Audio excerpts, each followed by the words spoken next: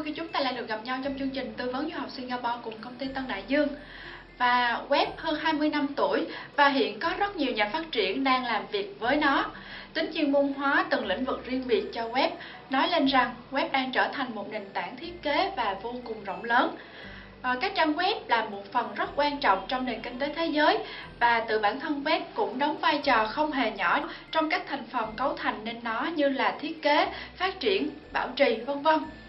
Bạn muốn học khóa học công nghệ web tại Singapore thì đến với chương trình hôm nay, Tân Đại Dương xin giới thiệu bạn một trường, đó là trường Kaplan Singapore. Đầu tiên là đôi nét sơ lược về trường. Kaplan Higher Education Academy trực thuộc tập đoàn giáo dục Kaplan của Mỹ nhà cung cấp giáo dục hàng đầu trên thế giới với 500 khu học xá ở 30 quốc gia toàn cầu. Tập đoàn Kaplan đáp ứng nhu cầu học tập của hơn 1 triệu sinh viên hàng năm. Khi các em học tại Kaplan Singapore sẽ vào học chương trình đại học với bằng cấp của Anh, Úc, chất lượng đào tạo xuất sắc được công nhận qua nhiều giải thưởng như là trường tư thục đào tạo cao đẳng đại học tốt thứ nhất, sau đại học tốt thứ hai tại Singapore, trường tư thục đào tạo cao đẳng đại học thạc sĩ tốt nhất tại Singapore. Và top 3 trường tư thục được yêu thích nhất tại Singapore, giải thưởng vàng à, hạng mục Higher Education chứng nhận EduJust 4 năm và hiện tại thì Kaplan Singapore à, đang có chương trình học bổng cho năm 2015 đối với khóa học thạc sĩ quản trị kinh doanh của Đại học Northumbria University và University of Bedfordshire Học bổng dành cho sinh viên chuyển tiếp từ cao đẳng lên đại học, học bổng dành cho sinh viên đại học chuyển tiếp lên thạc sĩ à, với trị giá là 5.000, 7.000 rưỡi và 10.000 đô xin. Và về chương trình đào tạo của trường thì trường có chương trình luyện O-Level, tiếng Anh thương mại. Trường còn đào tạo các ngành như là công nghệ web, trợ lý luật sư, kinh doanh và luật, kế toán, kinh doanh và quản lý thông tin quản lý sự kiện, công nghệ thông tin, truyền thông, quản trị kinh doanh, tài chính và ngân hàng, du lịch khách sạn, quản lý nhân sự, pháp y máy tính, hậu cần và quản lý chuỗi cung ứng, marketing, quản lý bán lẻ, vân vân. Và mỗi chương trình ở cấp lệnh Singapore thì được quản lý bởi một tư vấn viên. Tư vấn viên tiếp nhận phản hồi từ sinh viên và liên tục điều chỉnh chương trình học để phù hợp với yêu cầu của học sinh. Với con số hơn 50% học sinh cấp lần giới thiệu người thân và bạn bè cùng học, cấp lần chứng tỏ là sự lựa chọn của các bạn học sinh sinh viên. Cấp lần Singapore hiện nay đang có khoảng ờ, 144 giáo viên và hơn 70 giáo viên từ các trường đại học đối tác ờ, bay sang Singapore giảng dạy. Về cơ sở vật chất thì cao cấp, Cấp lần Singapore có hai khu học xá hiện đại nằm ở trung tâm Singapore. Tổng diện tích là hơn 100.000 feet với gần 70 phòng học máy lạnh, hai phòng thực hành vi tính, hai thư viện và phòng thư giãn cho sinh viên, phòng học, khu cà phê tại trường. Và để tìm hiểu rõ hơn về yêu cầu học học phí của ngành công nghệ web thì bạn vui lòng gọi về số 083 848 4879 hoặc đến trực tiếp công ty theo địa chỉ 148 1 Trần Quang Khải, phường Tân Định, quận Nhất để chuyên viên tư vấn hỗ trợ. Xin chào các bạn, du học Singapore hiện nay được khá nhiều bạn trẻ cũng như là phụ huynh quan tâm bởi Singapore có nhiều chương trình cũng như là bằng cấp quốc tế và có nhiều ưu điểm vượt trội. Thì trong chương trình hôm nay có sự góp mặt của anh Nguyễn Nhật Hân, hiện nay đang là đại diện tuyển sinh của trường Kaplan Singapore, đồng thời là cụ học sinh của trường, sẽ chia sẻ để giúp cho chúng ta có những cái quyết định đúng đắn. Xin chào anh Nhật Hân. À, xin chào các bạn và xin chào chị Ly. Ừ thì anh Nhật Hưng có thể chia sẻ cho các bạn là uh, hiện nay thì uh, sinh viên Việt Nam đang theo học ở trường cấp đình mình là uh, có khá nhiều không này anh Nhật Hưng? Thì theo thống kê tới năm tới tháng 7 năm 2014 cho tới bây giờ thì số lượng sinh viên quốc tế Việt Nam theo học tại cấp đình Singapore là không dưới 600 người. Ờ, và những uh, cái chuyên ngành nào được uh, học sinh Việt Nam quan tâm nhiều nhất tại trường cấp lên? Hiện tại tại cấp lên Singapore có hơn 16 chuyên ngành khác nhau và trong số đó có một số chuyên ngành rất là nổi bật và nổi bật nhất đó là chuyên ngành quản trị kinh doanh chuyên ngành tài chính ngân hàng và chuyên ngành dịch vụ quản trị du lịch và lữ hành. À, và cái đồng thời là những cái sinh viên Việt Nam à, tiếng Anh của họ đó là một cái điểm yếu. Thì những sinh viên chưa có những cái địa chứng chỉ quốc tế như là IELTS, TOEIC, TOEFL thì có thể tham gia tại trường cấp Kaplan Singapore được không thưa anh? Uh, đây là một vấn đề khá là nổi bật đối với lại sinh viên Việt Nam do bởi vì uh, có một số bạn thì uh,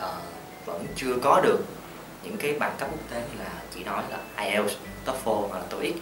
thì tại cấp lên Singapore có những khóa học chứng chỉ ở tiếng Anh quốc tế dành cho những bạn chưa đạt được điều kiện tiếng Anh để học chương trình đại học tại cấp lên và chương trình đó có nhiều cấp độ phù hợp cho tất cả các bạn uh, từ cấp độ cơ bản nhất cho tới cấp độ nâng cao hơn để các bạn có đủ điều kiện để học tại chương trình đại học tại cấp lên Singapore. Được biết là anh Hưng trước đây là cựu sinh viên của trường Cấp Lên và hiện nay đang là đại diện tuyển sinh của trường. Thì à, anh có thể là chia sẻ cho học sinh là khóa học sắp tới thì là khai giảng vào à, tháng mấy và cũng như là có những cái học bổng hay là chính sách ưu đãi cho sinh viên Việt Nam không thưa anh? Ừ. Ờ, tại cấp lên thì có rất nhiều chương trình học khác nhau đa dạng từ tiếng Anh cho tới bậc dự bị đại học cho tới bậc cao đẳng và bậc đại học và thậm chí cả sau đại học thì đối với lại chương trình tiếng Anh chương tiếng Anh được khai giảng vào ngày 10 tây tháng chẵn hàng năm. Ví dụ như là ngày 10 tây tháng 2 10 tây tháng 4 10 tây tháng 6 vân vân và vân vân. Ừ. Thì dành cho những bạn nào thì rất tiện lợi cho tất cả các bạn chúng ta có thể lựa chọn cho mình một thời gian phù hợp sau đại học đối với lại chương trình ờ, uh, dự bị đại học. Dành cho các bạn chưa đủ uh, chưa tốt nghiệp cấp 3 chưa tốt nghiệp bậc phổ thông trung học. Chúng ta có ngày khai giảng vào ngày 15 tây hàng tháng lẻ tức là ngày 15 tây tháng 1 15 tây tháng 3 tháng 3 và 15 tây tháng 5 vân vân vân vân. Ừ. và sau đó nữa đó là chương trình bậc học cao đẳng hay tương đương với là chương trình năm nhất của đại học. Thì ngày khai giảng chúng ta cũng có vào hàng tháng chẵn trong năm. À, chính xác hơn là vào ngày 28 ngày 28 tây tháng chẵn trong năm chẳng hạn như là 28 tây tháng 2 tháng 4 tháng 6 vân vân vân vân. Đối với lại chương trình đại học và chương trình sau đại học thì cái ngày khai giảng chúng ta uh, đi theo đi theo ngày khai giảng của các trường đại học liên kết và cấp lên. Và thường sẽ tập trung vào những tháng đầu năm ví dụ như tháng 1 hoặc tháng 3 và những ngày khai giảng vào cuối năm ví dụ như tháng 9, tháng 10 và tháng 11 đối với chương trình học bổng dành cho các bạn sinh viên đại học tại trường cấp lên Singapore. Trường cấp lên Singapore dành 9 khóa học bổng cho các bạn học sinh xuất sắc của các khóa cao đẳng chuyển tiếp lên chương trình bậc đại học sẽ có 3 khóa học bổng trị giá 10.000 đô dành cho ba bạn đứng nhất của khóa. Và ba khóa học bổng dành cho ba bạn đứng nhì khóa. Và ba khóa học bổng dành cho bạn đứng thứ ba của khóa. Và giá trị của khóa học bổng sẽ lần lượt là 10.000 đô 7.500 đô và 5.000 đô cho các thứ hạng lần lượt. À, thì ờ, như anh Hưng chia sẻ thì những cái học bổng đó sinh viên Việt Nam có những sinh viên nào đạt được không thưa anh? Đối với lại sinh viên Việt Nam thì uh, uh, không chỉ riêng tại Singapore mà chắc chắn học lực của các bạn học sinh viên Việt Nam đã nổi tiếng trên toàn thế giới. Thì việc các bạn sinh viên Việt Nam tại cấp lên Singapore đạt được học bổng là điều không hề hiếm. Chẳng hạn như mình nhớ có một trường hợp rất là đặc biệt đó là hai chị em sinh đôi. Uh, hai chị em sinh đôi một bạn tên Hồng một bạn tên Phương. Thì bạn Hồng là bạn em nhưng mà đã học bổng được ờ, uh, tốt đầu học bổng hạng nhất của tài khóa chỉ đạt 10.000 đô. Và chị của bạn Hồng là bạn Phương đạt được học bổng hạng 3 trị giá 5.000 đô của toàn khóa à, thì sinh viên Việt Nam của mình qua đó cũng đạt rất là nhiều học bổng đúng không ạ? À? Và theo cái kinh nghiệm của anh thì anh cũng có thể chia sẻ cho phụ huynh cũng như các bạn học sinh biết thêm là ngoài những cái học bổng và chính sách ưu đãi thì trường còn có những cái điểm nổi bật nào không thưa anh? Ừ. Đối với lại chương trình được học tại cấp lên Singapore thì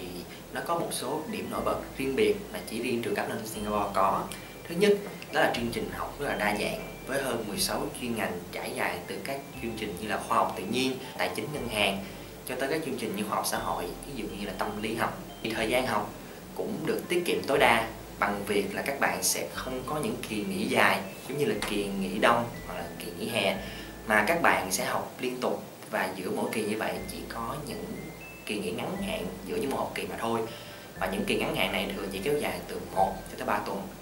cho nên khi các bạn được học tại cấp lên Singapore thời gian các bạn được học toàn bộ chương trình đại học chỉ kéo dài từ hai năm rưỡi cho tới hai năm 8 tháng và cái cuối cùng đó chính là mức học phí rất là tiết kiệm mức học phí rất là tiết kiệm cho các bạn và ngoài ra thì tại cấp lên Singapore hiện tại đang sở hữu một cộng đồng sinh viên Việt Nam mạnh mẽ và thuộc dạng rộng lớn nhất tại Singapore. Ừ. Thì um,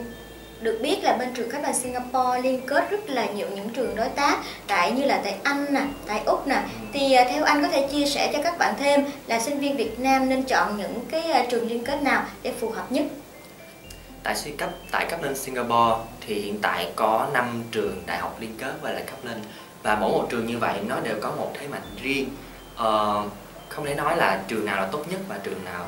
trường nào tốt hơn trường nào mà là mỗi một trường nó đều có một cái tiêu chí để cho các bạn lựa chọn. Chẳng hạn như bạn thích học một chi một trường uh, cho bạn được một cái uh, bậc cử nhân có thể học hai chuyên ngành cùng một lúc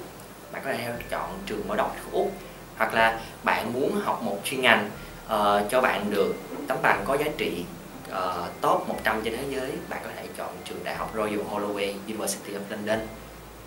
mỗi một trường như vậy nó có đều thế mạnh khác nhau và dĩ nhiên nó cũng sẽ đều có những cái khó khăn nhất định. Ừ. Thì à, những sinh viên Việt Nam của mình á, thường chọn những cái chương trình nào à, đối với trường liên kết? Đối với sinh viên Việt Nam mình họ sinh viên Việt Nam rất có năng khiếu về toán. Ừ. cho nên chương trình về tài chính và ngân hàng và kế toán luôn là những chương trình mà các bạn được ưu tiên lựa chọn. Thì anh Hưng cũng có thể cho biết thêm là những cái học sinh mà đã học tốt nghiệp đại học tại Việt Nam và họ muốn nâng cao lên cái khả năng học vấn của mình cũng như là tạo cái cơ hội sau này thì họ muốn học thạc sĩ. Thì hiện tại thì bên trường cấp lên cũng có đào tạo chuyên ngành về thạc sĩ đúng không các anh? Vậy hiện tại bên cấp lên đào tạo thạc sĩ cho tổng cộng là 3 chuyên ngành chuyên ngành đầu tiên là về tài chính chuyên ngành thứ hai là về quản trị và chuyên ngành thứ ba là dành cho những anh chị đã đi làm đã có kinh nghiệm và muốn được chuyên sâu hơn về khả năng quản trị đó là chương trình MBA về yêu cầu đầu vào của chương trình uh, sau đại học thì uh,